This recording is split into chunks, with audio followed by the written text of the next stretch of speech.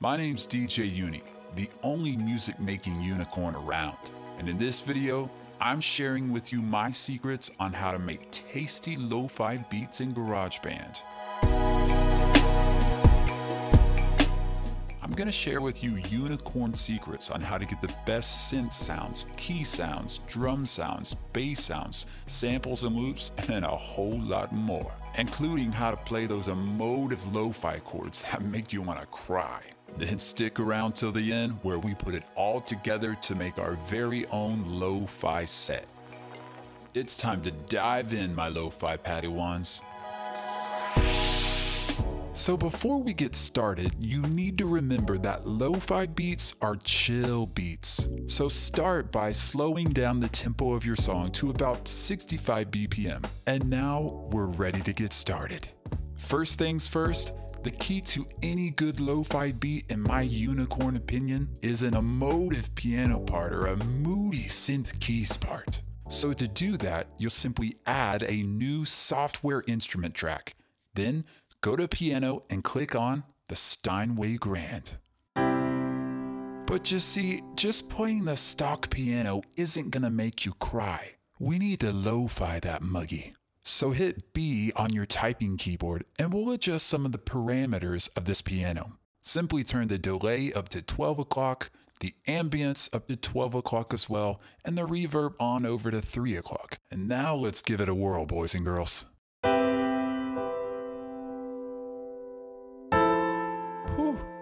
I could make even a grown man cry. But maybe you're not feeling a piano for your lo-fi track and you're thinking of more of an electric keyboard. Well, let me show you a scrumptious electric keyboard right here in GarageBand. Simply go over to the Vintage Electric Piano menu and click on the Wide Suitcase. Mm. Now, if you want to throw a little more sauce on it, all you have to do is nudge up the parameters on this side of the window. Ah, yes, now we're in lo-fi land. But maybe you're still not satisfied and you're feeling more of a synth keys part for your lo-fi jam. Well, I'm about to show you one of the tastiest lo-fi patches in all of GarageBand, hands down. It's called the Outer Lands synth, and you can find it by going to the synthesizer menu, clicking on pads, and then scrolling down until you find the Outer Lands synth. Let's give it a go, shall we?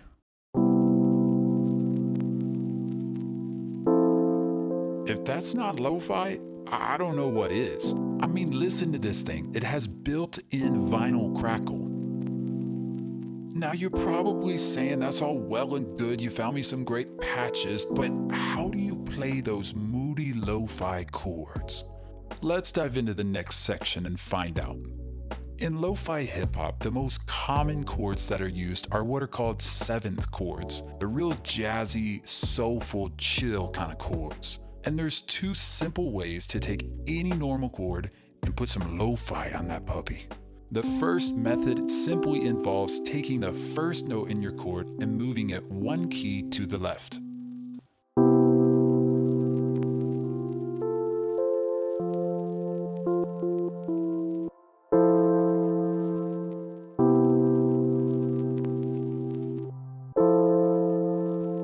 The second option is to keep the first note in your chord the same and simply add a fourth note to the end of the chord.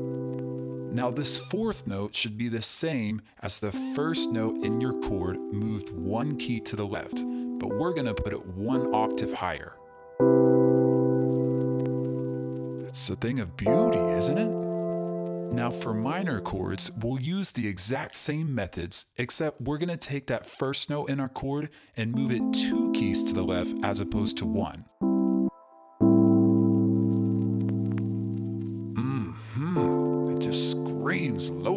Doesn't it?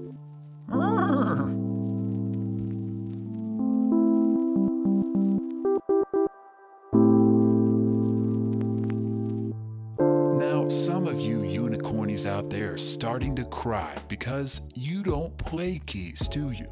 Well, don't cry, my lo-fi Padawans. There's good news for you.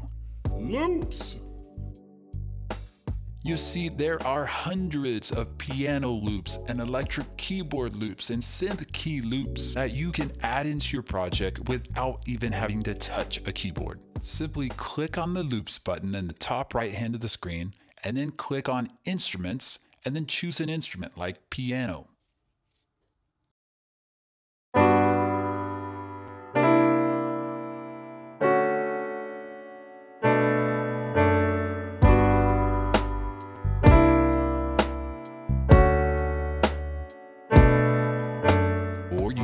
On electric piano.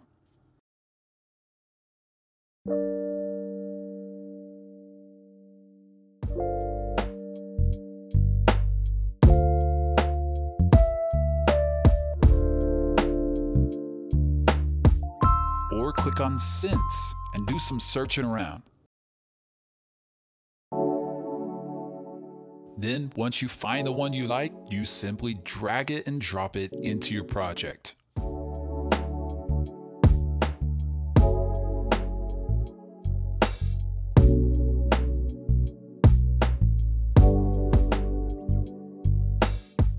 You're probably looking at my drum tracks going, how did you get those sick beats in your lo-fi jam? Well, let's dive into the next section and find out, boys and girls. Once you have your moody piano part or your loop in place, it's time to drop a beat on it. So we'll start by creating a new track and selecting the drummer, or what I like to call the automatic drummer. Now by default, it's gonna give you Kyle, a rock style drummer. So I want you to go over to the menu and click on R&B, and then select Rose. Now Rose sounds pretty legit right off the bat. But I want to customize her sound a bit and give it more of a lo-fi vibe. First, we'll start by changing the kit that she's playing. Let's go to the electronic drum kit menu and select Beat Machine. Dang! Next, we're going to shape the sound of this kit just a little bit. So hit B on your typing keyboard and then click on EQ. Now, click on this button right here to turn on what's called the low pass filter and then drag it down until the dot hits 5K. It just gives it a little more vintage vibe. You can play with how much or how little you want of the low pass filter, but I think 5K is a great place to start. Thirdly, let's add a little reverb to our drum track. Here's how. Click back over to controls, click the drop down menu that says plugins, and then click on this reverb slider here and turn it up to about mm, halfway. Ah, yeah. It just helps it fit in the space a little bit better. And again, you decide how much or how little reverb you want on your drum track. And before we move on from drums, here's one last pro tip for when you're using the automatic drummer.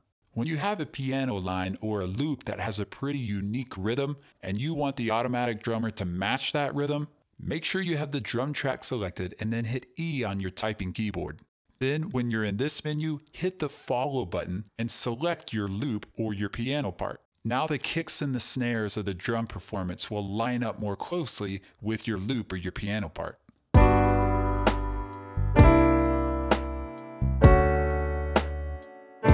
Now that we've talked about drums, you're probably looking at my bass and going, how you do that bass? Well, here's how I do that bass. I'm gonna show you two of my favorite bass sounds in GarageBand, but either way, you have to start by creating a new software instrument track. First, if I want a live groovy bass kind of feel, then I'll go with the muted bass, and it sounds like this.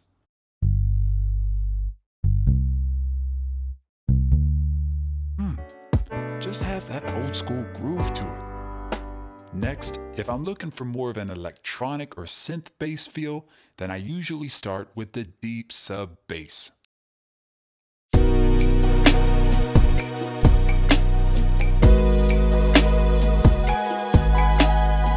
Gives you a more synthy vibe that's a lot like an 808.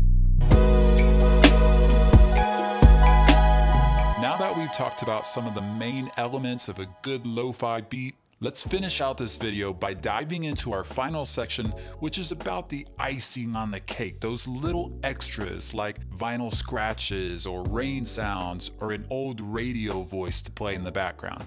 Let's start with the vinyl scratch sound, and this is really pretty easy. All you have to do is go up to the loops library, type in vinyl, and then I've already done the searching for you, and in my opinion, the best scratch sound is Vinyl Scratch 22.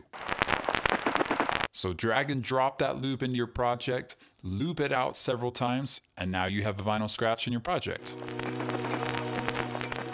Now, the vinyl scratch sounds really cool, but I think it needs some shaping because it's a little too in your face. So hit B on your typing keyboard, bring up that Smart Controls window again, click on EQ again, and again let's take that low pass filter and bring it down then we'll go to the other end and we'll turn on the high pass filter and we'll bring it up until it hits 500 Hertz. Now it sounds a bit more vintage and a bit more subtle, which is nice. And of course, we'll want to turn down the volume a bit on this vinyl scratch track.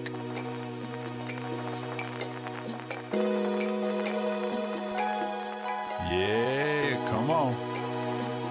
Now, I personally like a nice soaking rain sound. And yes, GarageBand has that too.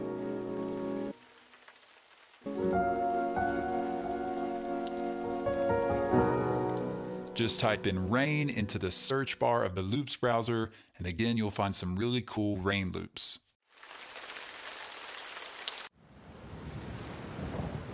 Then of course, you'll simply drag and drop the loop you want into your project. And again, with this rain loop, I want to soften it up just a little bit. So I'm going to go to the Smart Controls window, click EQ, turn on that low pass filter, but this time I'm only going to bring it down to about 10K.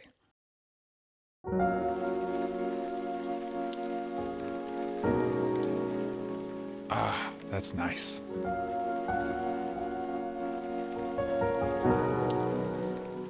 And lastly, let's talk about how to get that old school radio voice in your project. I'm a unicorn. Now, you could go out and search for samples, but I like to make my own samples. So the first step would be well, recording yourself really saying simple. whatever you want to say. I'm a unicorn. Then next, I would recommend using the telephone preset that GarageBand gives you for vocals. But maybe your voice isn't well, very deep really and you want to make it go low. Well, you can select the pitch shifter plugin and turn it down about three semitones for a lower, more radio-like voice. Well, it's really simple, you see. Then the last thing this voice needs is a little lo-fi sauce. So let's bring up the master echo and the master reverb about to here and try it now. Well, it's really simple, you see. Ah, yeah. And let's just go ahead and make a full-on lo-fi music video out of this thing. Well, it's really simple, you see. I'm a unicorn. I'm from the land of unicornicopia. My poop is rainbow